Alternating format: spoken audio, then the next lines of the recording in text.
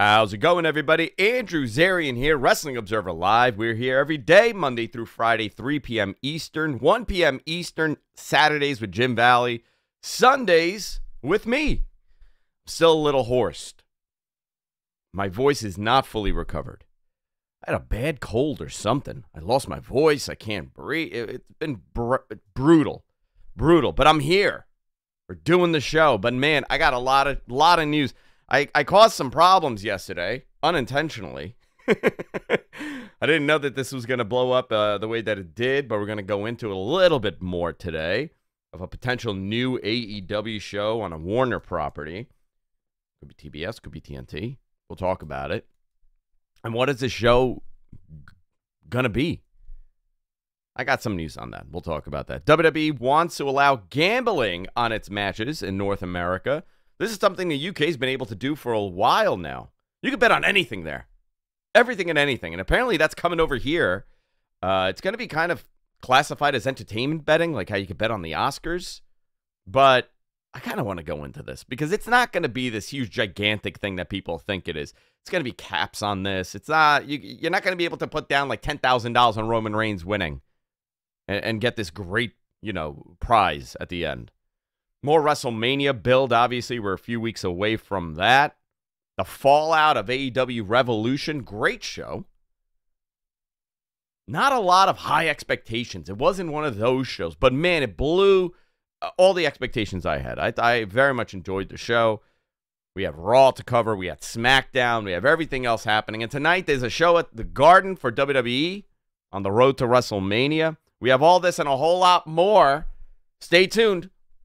Wrestling Observer Live on Sports Byline. We'll be right back after this. Wrestling Observer Live Sunday edition here on Sports Byline. I guess we'll start off with a big story here. Started some stuff on the internet yesterday. I didn't even post. We did the Matman podcast with my co-host Rich Stambolian yesterday live in the morning, and just talking. You know, we we started discussing uh, this this little rumbling I've been hearing. I um had a nice little conversation with somebody over a couple drinks and dinner a couple weeks ago, actually last week, and um, you know this came up in conversation. They're not really in the wrestling world. A lot of my sources, they're not in the wrestling world. I don't talk to people really in the wrestling world in that in that level. You know, I'm not I'm not contacting people in locker rooms. I mean, sometimes I confirm them because some of these guys are my friends and I know them and I talk to them. Uh, I have a lot of friends that they're friends with, so you know, you you try to piece things together. And I listen. The reality, I do this for fun. This is not my main career. I have, you know, I have a consulting company. I do all this, but I I love this stuff. And I and I think giving little tidbits like this helps. Uh, you know, just it's the viewership. It gets you excited. It gets you talking, and I think it's a positive. And that that's really why I do it. I, I kind of enjoy it. It's like therapy for me. But in talking, you know, just we were talking about TV and TV rights and how it's headed and where it's headed and uh and the conversation came up of watch hours and inexpensive programming for networks to produce. And it just went into this conversation about you know hey by the way I heard some rumblings there may be another AEW show coming. And I'm, I'm for anonymity reasons for this person I'm I'm gonna I'm not gonna dive deep into everything that was said right? But Here's here's pretty much what was said. Inexpensive content matters, especially in, in television. And if you have a property that's hot, that's getting uh, uh you know, you, you talk about AEW ratings constantly. Everybody's obsessing over this 830,000, 890,000, 900,000. But that's a very high number. You know, uh, uh, wrestling fans, we're, we're stuck on this attitude era level of number that represents a good viewership. It, we're never going back to that. Uh, you know, listen, if, if WWE could do 5 million viewers on a Raw, that is astronomical numbers. That is on the level of eh, major sport brands. It's just something that doesn't happen anymore. But we have seen the numbers go up incrementally. I think for AEW, they are they are doing very good with their viewership.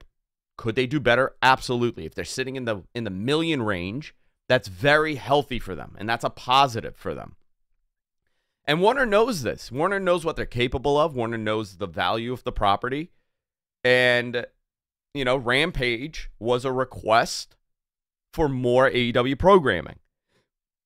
This reality show that they're going to be doing, or they are doing after Dynamite, is a request. Obviously, you want more content. You want your viewership to stick around.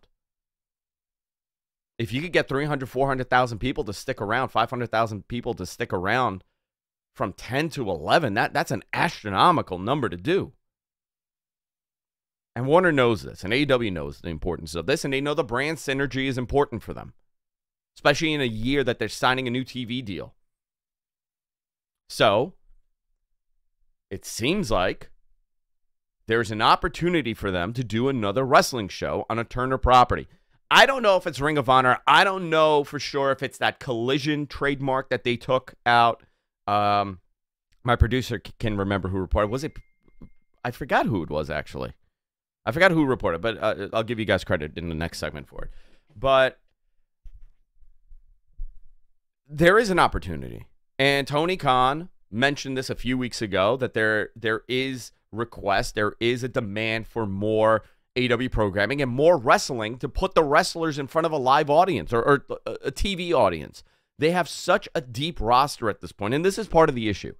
They have such a deep roster that you don't get to see presented on national television. Yeah, you have Dark Elevation, you have Dark, or but who's really watching those shows? That's creating content so you have a library, you have content. The value of having a deep library is very, very important for your valuation as a company. Tony Khan buying Ring of Honor, yeah, I'm sure he wanted to do a live show. I'm sure he wants to do the pay per views. But the value of having a 20 year old asset with 20 years of content of, you know, nearly every major professional wrestler to be successful Seth Rollins, AJ Styles, Bryan Danielson, CM Punk, Samoa. I mean, the list goes on and on. That is value to your company. That is value to your brand. And if they have an opportunity to do a one hour show, let's say on a Saturday, let's, I'm throwing, you know, I, am not, I don't know. I didn't ask, but it was kind of like winking a nod. You know, maybe what's another day that's, that could work for them. Yeah, man. Why wouldn't you take it? So I, I, I didn't, I didn't post this. Um, Wrestling Observer posted uh, on the front page and I saw a lot of, and I and Sean Ross Sapp, a Fightful, and, and a couple other people posted it, but I saw, I saw some criticism. You know, do, does nobody needs a fourth hour of programming? Yeah, you do. You do need a fourth hour of programming, especially for the talent. Especially if you want these guys to be in front of a live audience. Also, why would and, and here's the other side, right? Why wouldn't you just add a second hour of Rampage? because that is a terrible decision to make. If you could avoid doing that, you want to avoid doing that. Do you, as a viewer, you as a fan, want another hour of wrestling on a Friday night? You want four hours of wrestling back to back on a Friday night? I don't. I get fatigued. Maybe it's me. Maybe I'm getting old. I know I'm getting old. I feel it every day. That's why I sound like this. My bones are broken. I don't think a, a, second hour rampage is a positive, especially for ad sales. You have to put that into consideration. Marketing of it, ad sales. However, I'm throw. Uh, this is me being speculative. If you had a Saturday time slot at six o'clock, what kind of demo can you potentially grow that you can't do with a primetime show? Let's ask our producer Matt. Matt, MG. Yes, sir. MG Geek. Yes, long sir. time, long time viewer of my content, and now he works for me, which was the worst mistake I ever made. What kind of audience can you attract with a six o'clock time slot on a weekend? Maybe. I, I, again, I, I'm not. I'm being speculative with that time slot, right? Maybe a little, maybe not. You know, you figure it out. I don't want to. I don't want to. I'm not. I'm not 100 percent certain that's the time, so I'm not gonna. I'm not gonna confirm it. But what can you reach that you can't at nine o'clock, eight o'clock, ten o'clock, eleven o'clock at night? Sports viewers, people like that, people that are watching uh, sports, live sports. Sure. Um, there's the roman there's a, the romantic uh, wrestling fan. Time, that- sure. that the has- romanticized time slot, Mm, sure. Yeah, uh, there's that. Um, but yeah, I think there's a lot more people that uh, watch it, um, watch stuff like that um, for like the sports. Like TBS does baseball, and Sure. uh, you know that. So there's stuff on during the day, and maybe in the afternoon, or maybe it's a lead-in. But you're forgetting one event, important thing. Like One Mhm. important thing. Myself, everybody in my generation, we Mm-hmm. didn't watch. We didn't have Monday Night Raw when we started watching wrestling, and when we did have Yeah. Monday Night Raw, it was late. We had prime time. My dad would. My dad would. You know, wake me up so I could Kids. go watch wrestling with him. Kids, the one demo that WWE, that WWE has a major advantage with. Now, I'm not saying this is going to be a kid catered show, but you have way more of a reach, a way more of an opportunity to get in front of kids. I'm saying kids, but a younger demo, a much younger demo than you can at 8 let's p.m. or 9 p.m. or 13 to 10 p.m. 18, right? No, I'm 13, going 18, younger. I'm going younger, Going dude. younger than okay. I'm going younger. I'm going Mhm. 9, 10, 11, 12. And you can cater the product a little bit better for that. You know, Moxley's not going to bleed all over the place. No knock on Moxley. I'm, I'm, I'm, I, I just, I absolutely love him. I, I'm just using that as an example. But you have an opportunity. And what does that translate to? Merchandise, different ad possibilities. Weekend advertising is different. Uh, you know, you have your toys, you have your video game coming out. These are all things that you need to strategize. This is how this listen, this is my business. This is what I do. I think it's a brilliant move. Totally different time slot, totally different demo, totally different audience on a weekend. You don't have to do a million viewers, but you know what? 350,000, 400, 500,000 could be a very profitable thing for you. We're going to go to a quick break. When we come back, a little bit more on this and gambling. Wrestling Observer Live here on Sports Byline. Stay tuned. Wrestling Observer Live Sunday edition. Andrew Zarian here. Sorry, I I I I was coughing up during that break. I went a million miles an hour, and I'm feeling it now. Uh, so if I'm coughing here, uh, excuse me. WWE in talks with Colorado. By the way, let me let me just back up to that. I I, I think it's a positive. Again, I'm going to say this: WBD and AEW. Uh, I anticipate them to have uh, a positive work experience moving forward. I don't, you know, there's a lot of speculation about that SmackDown uh, deal coming up with Fox and the evaluation that Wells Fargo put on as it being a loss leader. Um, we, we'll go into that if we have some time this week or maybe next week, but they're in a contract year, and this is a very positive thing that they're being offered more more content on the brand. So you could look into that. That's obviously going to play a part in their next deal and how much money they get.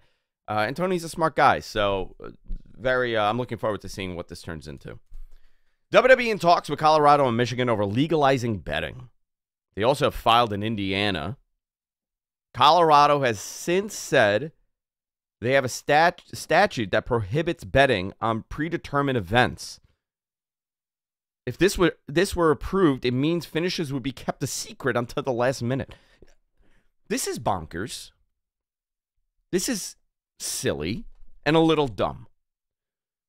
You you can't keep it a secret. It- you really can't. And smart money comes in uh, with a lot of things, you, even non-predetermined stuff. You know, injuries happen. You you see the smart money line come in for UFC, and it comes in even for betting uh, overseas in the UK for WWE. All of a sudden, you know, Brock Lesnar shoots up as a, you know somebody knows something. So how do you keep this a secret? The story was that uh, uh, somebody on CNBC that I'm I'm sure is not a professional wrestling fan and doesn't know the intricacy of the business was saying that they would have accounting to deter you know to make sure that overseas that the stories don't get released and the finishes don't get released and the talent would be told three hours ahead of what the ending the fit you know who's winning. That makes zero sense. These things are laid out weeks in advance. Major spots happen in matches due to who's winning and who's losing. You tell a story. Can you um, I, I mean it's like maybe this is a bad analogy it just came to the top of my head but you're writing you know scandal the tv show you're writing scandal nobody knows the finish nobody knows the actors don't know they're just acting It changes how you act. It changes, you know, how you your input level on what you're doing. They're not going to keep this a secret. And also, you think Roman Reigns isn't going to be told weeks ahead of time what his plan is, Cody? You think the marketing department and and its brand partners don't know who's going to be the man in six months, or, or or the woman for the for the women's division? These are things that are that's very difficult uh, to keep keep track of. What's uh, probably going to happen? These are going to be very small bets, ten dollars, twenty dollars, whatever the cap's going to be, and it's going to be more of a fun experience that you could do with, you know, like like a DraftKings could do a, you know, a, a con more like more like a, a sweepstakes if you're betting on something. You know, there, there's there's there's a reason why certain things are contests and sweepstakes. No purchase necessary. You know, I I, I tend to feel it's going to fall in line with that more than anything else. You're not going to be able to go and drop 15 grand on Cody winning WrestleMania. I, and if you do, you you do, you can. I think that's absolutely bonkers. I'm not a big gambler. Occasionally, I, I bring out you know my Caesars app, but we're non-advertisers. None of these guys advertise with me. I'll take it out and I'll put money like 50 bucks on something. My brother, he he does tremendous with UFC. He does it all the time, and I was talking to him about it. He's like, I don't see this happening. Michigan and Colorado, though, they're they they're in talks to do it. I don't know how much money they could generate for the state. You know, a lot of this stuff is also state driven. They are very, uh, you know, the profits coming in here in New York are are unbelievable as far as tax revenue that's collected. The VIG, the VIG that they put on this. See, I, I, I know my gambling talk. The VIG. What's the over under, MG? What's the VIG? That's how they talk, right? Something like that, yeah. I'm gonna put I'm putting a 10, 10 point VIG on you. You know what? I am gonna put a VIG on you. Every time you mess up something, I'm putting I'm I'm taxing you. oh boy. Can I My I friends over in Jersey, that's how they operate. Yeah, go ahead. Yeah, so uh so for example, even though you say that there this wouldn't be a big uh big thing, I have a feeling um I have a feeling that a lot of people will bet on this. Uh, no, no, no. Maybe They it's more of a will. They will. Yeah, I'm just saying it's not going to be a big thing. Like you can't drop 15 grand on a bet. You Um, can't drop 10. Like let me- your winnings are not going to be your winnings are not going to be thousands of dollars. Maybe maybe a couple bucks here and there. Right. Let me ask it this way: If this was already legal, um, and for Elimination Chamber, how many people would have bet on uh, Sami Zayn winning? A lot of people would. A lot of people. Yeah. So you know, because that was such a hot story, and people get involved in it, and they forget that hey, the they, the logic goes out the window. And I'll give you another example because I do live in Michigan, and I am actually looking at the odds for the Academy Awards that are. You're the king of. Michigan, dude. Yeah, something like that. Yeah, you Uh, walk around with a crown and a scepter, and you win. Uh, people think you're nuts. He, he's he, he calls himself the king of Michigan.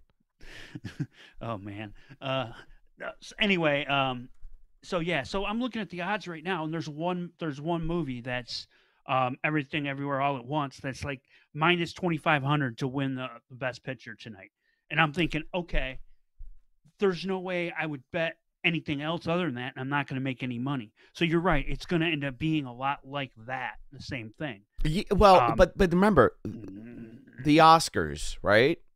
Mhm. That's a little bit. uh, I I think that's more tight-lipped than WWE. Yeah, it's easier to keep that Way easier. secret. You're Yeah, because it's a about two or committee of- people. Exactly. It's a Right. committee of a Mm. couple people that know, and and there are NDAs and there are consequences for Mm. saying stuff. You know, how many of us knew that Roman was winning? How many of us were told that Roman was winning? Yeah, at Elimination that's Chamber. Be what they're going to have to eliminate if they if they're going to be serious about doing. they can't this. do it. They Right. can't do it. Mm, yeah, You know, and how does It's that shift? hard. If you know, and, and here's the other thing, right? Um, it's manipulable. Man, manipulable. I can't. I'm sorry, man. I'm not feeling well. Uh, how, if, if I'm Andrew Zarian Scoopster.com and I put out a fake report saying, you know, Sami Zayn is winning, which you see a lot of these fake reports happening constantly. You see a lot of fake documents released. How does that change the money line? Tremendously. You really don't have that with the Oscars. You don't have that in other uh, other uh, uh, not to this level. Maybe a little bit, but not to this level. So I don't know. We'll we'll see. Uh, you know, it could be a fun thing. They could generate a lot of money, it, it, but you got to look at it as like, okay, this is a novelty. It's not like betting on the NFL. You think bookies are going to take this bet?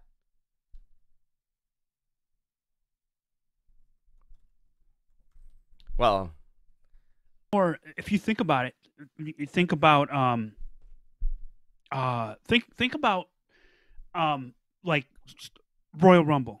It's gonna be more of a party a party thing where you and your friends Sure. get together and you go, Exactly. "Hey, I got a couple bucks on, you know, number five winning the Rumble." yeah. and, and doing it that way. That's going to be more of a conversation piece. That's where I think they're trying to do make it more of an interactive experience. And that's cool. and that's great. That, that- But a lot of other people think that they're going to get that's gonna rich on getting scoops and, you know, Nah, uh, No. people think they're going to Mm. subscribe to Fightful, Fightful Select or the Wrestling Observer and see a post about who's winning and then go and bet a $1,000 bet. That's not going to happen. mhm, yeah, uh, Yeah. I, I think, and, and it's very well that if it, if if uh, results do get out ahead of time, you'll see you you might see the bets get pulled before before Yes. Well, they will. the Yeah, are, for sure. yeah, so For sure. mm, mm, mm. Interesting. So- Very interesting. Uh, Rey Mysterio, the first inductee in the WWE Hall of Fame class of 2023. Looks like it's going to be a much smaller Hall of Fame. Uh, they're running it after SmackDown, and this is a side effect of having so much going on on that weekend and having Fridays for SmackDown. So they're running it right after SmackDown. Dave said that Konnan is uh, inducting Rey, and what a great pick for for Rey. Really, the only pick. But man, you know, you know what's fascinating to me that he never went back there. K Dog. Very interesting. Legendary act, instrumental part in the lucha, the lucha boom, WCW. He never went there. I mean, after I mean after Max Moon, he never went there. But he's going to be inducting him. Very cool. That's the first one. We've heard some other thing. Mick Foley came out and said that he's been asked to induct somebody. A lot of speculation around Molina being inducted in the Hall of Fame. You think that's the one, MG? Um, I think I think it's the Great Muta. It's the one I'm. That's the one I keep hearing. You you Um, think you think Mick Foley's inducting the Great Muta? No, I don't know about Mick Foley, but I think Great Muta's the name. Um, He should. Yeah, I mean, Molina if there was yeah. ever a year Mm. for him, that would be it. mhm. They're in LA. That's a nice, easier flight than getting to New Mhm. York or someplace else from Japan. I think the Muta, I think Muta should go in. Uh, Molina's the other name that I'm hearing. Couple. I, it's not going to be like ten people here. It's only a handful Whatever of people getting inducted. Batista? Batista was the other was- name. Yeah, Yeah, Batista was the other name that they were talking about. I, I I think it's you know doing like eight people or whatever they they normally do. That's a lot of people. You're inducting every year, and you're running out of people. Mm, Yeah, I personally would like to see them rebrand it as a um, lifetime achievement award because it's not a it's not a Hall of Fame. You know, like the observers, people vote on that. This is more a few people going, "Hey, we're gonna honor you this year." That's a lifetime. yeah, but they like the achievement name. Nobody understands what that I know. means. You I know. Mhm. Yeah, but very interesting. Rey Mysterio going in.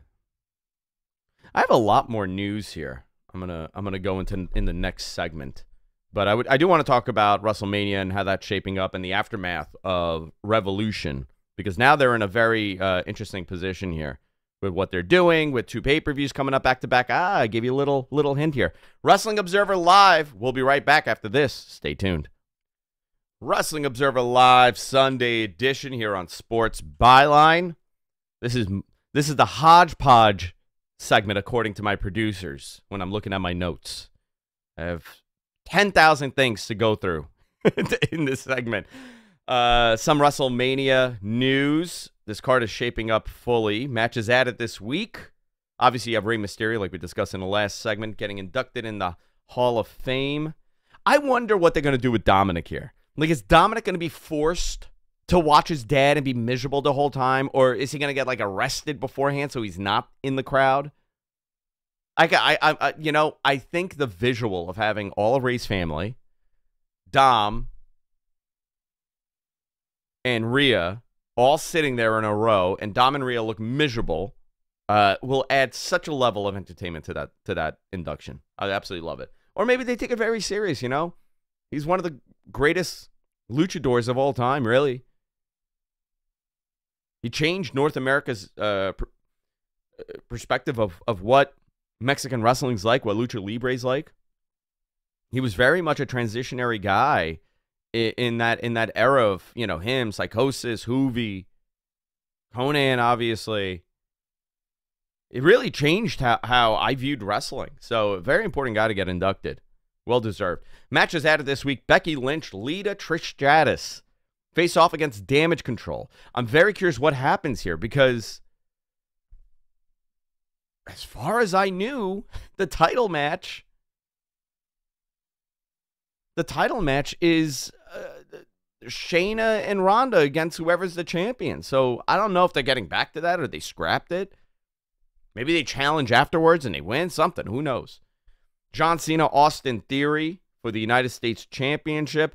This was a burial of Austin Theory. John Cena came out. He, uh, he beat him up for a couple minutes verbally and he left on Raw. Seth Rollins, Logan Paul. This is the big attraction match for the crossover audience. I'm sure this is going to be very entertaining, and Seth is going to make this look like a million bucks. And Logan Paul's great too, regardless of what you think of the person, the personality. He's such a great heel. Matches previously announced that we knew: undisputed WWE Universal Championship Roman Reigns, Cody Rhodes. SmackDown Women's Championship, Charlotte Flair, Rhea Ripley. Raw Women's Championship, Bianca Belair, Asuka. Inter- Intercontinental Champion. I said almost international championship. wrong, wrong company. Intercontinental Championship. Gunther versus Sheamus or Drew McIntyre, to be determined. Maybe it's a three-way. They could do that. And Brock Lesnar versus Omos, which is the main attraction, right? That's why all of us are going to watch WrestleMania. No, no. That's why. I have a question for you. Yes, have a- sir. do you think uh, this uh, Dominik uh, Rey? You think that's going to be some sort of big stipulation match? I know we've talked about it for years i- internally, us about maybe doing a hair versus mask match at some point with Rey, kind of toward the end of his career. Think we're think they would do that? Is that something? I don't they would- know. I don't know. because that would kind of be because that would kind of honor lucha libre, right? Because that was that's a big big part of it. You could do a I hair think it would be- versus mask. Yeah. I mean, he's Dominik's been growing out that mullet for something. oh yeah, he just chops that Eddie mullet off. Yeah, that's great. yeah, I absolutely love and that. you know, and it, and it goes into it goes into the storyline with the Eddie stuff too. he I starts screaming, "Mommy, Mm. mommy, mommy!" yeah, and he's getting his hair chopped by his Yeah, dad. by That- his that dad. would be a visual that would that would go over great at Mania. I think I think that's a great visual. In in L.A., which is a highly Hispanic market too. I think. Yeah, would- it'll get over. would- No, it's gonna be it's gonna be over. I was just curious if you thought that would be a be. Listen, I'm a big fan. I, I Dominik has come such a long way. I very much like this character he's doing, and and he feels comfortable now. You know, he's not. He's growing into it, and this is part of the unfortunate thing. You know, you take someone that's very young and inexperienced, you put them on national TV, and they have to figure it out. And I think he's done a good job at figuring it out. People sometimes it takes time. Look at Austin Theory, young guy. I think putting uh putting Dominik with uh Judgment Day with uh Finn Balor especially with Tremendous. Yeah, it's been great. helped helped him a lot. So Yeah, it's been great. Mhm. Um, AEW Dynamite. Let's go into. Oh, you know what? Uh, where was I going after this? Oh, let's go into AEW Dynamite. There we go. Uh, this is for this Wednesday. AEW World Trios Championship. The House of Black defends against the Jericho Appreciation Society, which will be Sammy Guevara, Chris Jericho, and Daniel Garcia versus the Elite, Kenny, Matt, and Nick. This is the beginning. I, I would say this should be the beginning of the end of of the trios stuff for Kenny and the Bucks. They could always go back to it, but Kenny needs to be a singles man. They need they need a they.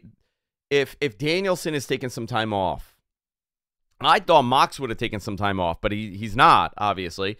Uh, if Danielson's going to go home for a little bit, you kind of need another top guy in that position.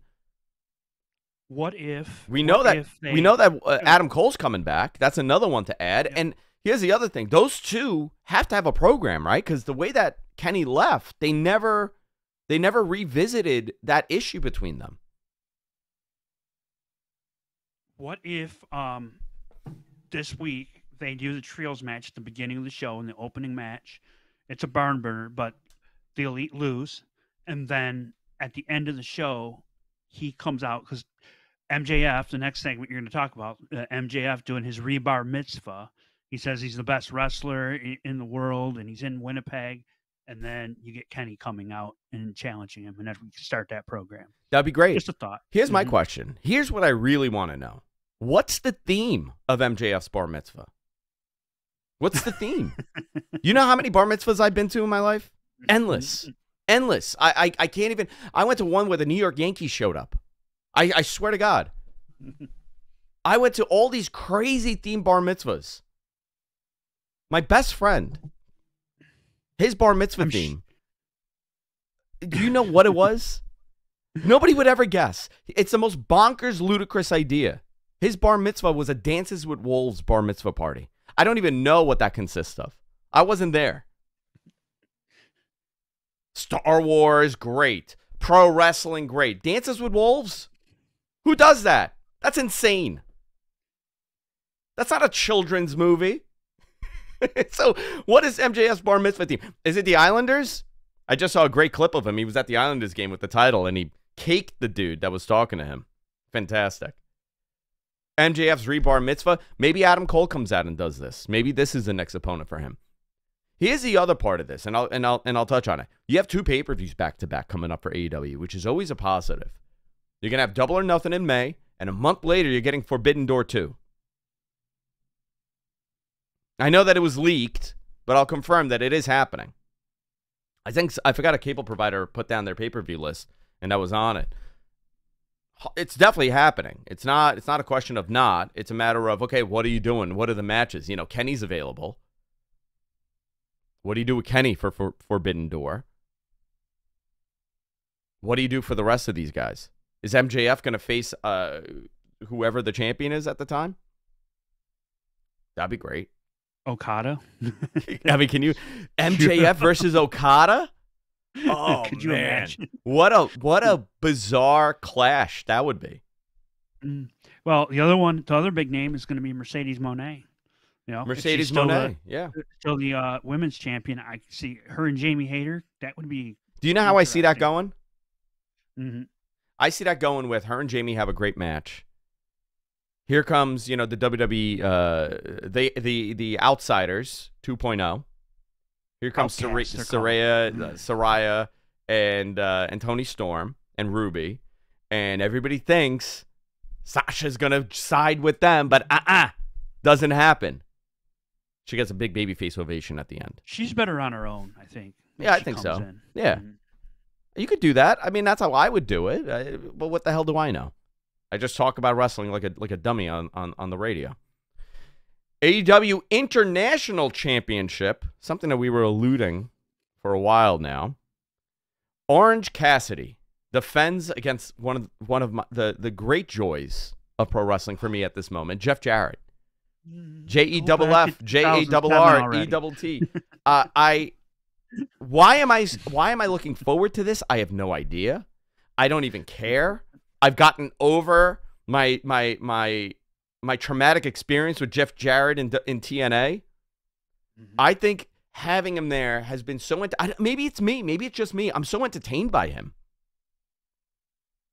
He doesn't belong, you know? Like and I it, it just it's just so odd. I think that's what it is. Hmm. He- He's turning he into just- like Colonel Sanders with that hair. It's unbelievable. Such an old timey dude. Love it. Hangman Page, Stu Grayson, Evil Uno versus Jon Moxley, Claudio Castagnoli, and Wheeler Yuta on a three on three. TBS Championship, Jade Cargill defends in an open challenge. No idea who this could be. Who, so what do you who do you think? oh, it's Natty. It's Canada. You got to bring out Natty, Oh, right? No? Who do you bring out? Who Who's like a, a, a Well, a the- the hot Canadian name star? Is Taya Valkyrie. Mm, Um, Taya Valkyrie. The- you know, Lufisto is another name I can think of. Angelina Love. Okay. That's three off the top of my head that I know are from Canada that would be Available. aren't tied down Or maybe that not. aren't tied down to the WWE. Yeah. Mm. QTTV, QTV with QT Marshall and TNT champion Powerhouse Hobbs and the outcasts will speak. Sar- Saraya, Saraya, Saraya, Saraya, Saraya.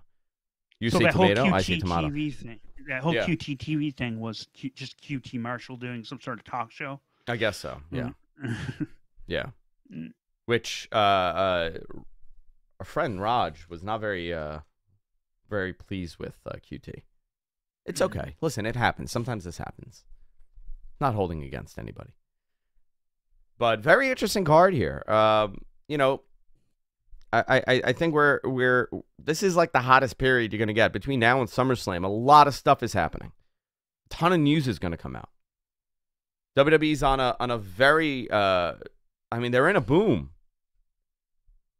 I, I is it is it like the 2016 era when things kind of heated up 2015 2016 I, I don't know I got to look back at that um but you know it's a different time it's more competition you have another alternate product on television that gets a million viewers. You know it, it- it's a little unprecedented to be honest because even when impact was you know getting over a million they had kurt angle and they had all these guys it was never looked at as okay this is this is a this is an old a competitor. I think for aew they they've they've been able to be more of a competitor than impact was or tna was and i think a lot of that has to do with the fact that they travel for their show and impact didn't for a very long time and when they did it, they were losing money i think a lot I of that comes into have- play Uh, they they having uh, Warner Brothers uh, Discovery as a media um, partner is really as a media partner too. of course There's a lot. yeah it's 'cause there- huge there's a lot of stuff going on there. Yeah, it's Mm. huge. I mean, they had Spike. That would that that's Viacom, right? Viacom is a huge property, and they had Hogan, and they had Flair, and they had Foley. It just it just didn't. They had the stink of WCW on them forever, and sometimes that's all it takes. I don't know why. It, it just never left. Wrestling Observer Live. Going to a quick break and coming back with our final segment here on Sports Byline. Stay tuned. Wrestling Observer Live Sunday edition. Final few minutes of the show. MG, my producer. What were your thoughts on that uh, on the Iron Man match? I loved it. It was it was different. It was one of the. it- didn't follow the the um, I guess schedule of a lot of these type of matches. They did different. It was some old school uh, psychology involved, and it just it, it was really really good. You know, having it be a tie. I had a feeling they might go to overtime just to say they did it. Yeah. Um, but yeah, and I know a lot of people weren't happy with that. Um, but you know, I I Why why really weren't they? The it. overtime? Yeah, because they thought it thought it took away from. I heard No, people I- talk about it. I It thought it was great. from the match itself. You, you know what? You know what it was for me. I, I you know, the the sixty minute matches. It it it requires a lot of attention to enjoy Yes. it, and Mhm. it can be fatiguing. But they did. I would say was probably the best that I've seen. It, it's far far better than the Shawn and and Storytelling was amazing. Storytelling was amazing from the beginning to end. Danielson did a great job, and MJF is proving, you know, more and more how he is the guy right now, and that's great. and we know he likes pickles. He had pickles in the uh in the in the pu- scrum. Yeah, he lost his mind in the scrum. He started attacking Dave and Bryan and started yelling at people and offering them pickle. I mean, Mhm. he he's he had a horn coming out of his head. It he did. great. Did you see that big bump? Holy hematoma, moly! Yeah. Holy moly! He said, "I'm becoming the devil." But very interesting. Uh, I, I I absolutely loved it. I thought it was great. I wanted to kind of touch on it because a lot of people asked me what I thought of it. Next week on Wrestling Observer Live, I'm gonna have a guest. It's been a while. I'm gonna bring in a guest next week. I'll keep it a surprise for you guys. But that's it for this week, guys. Do me a favor, follow me on Twitter at Andrew Zarian. You can follow all the stuff that we're doing here, and we'll see you all next week on Wrestling Observer Live. See you later.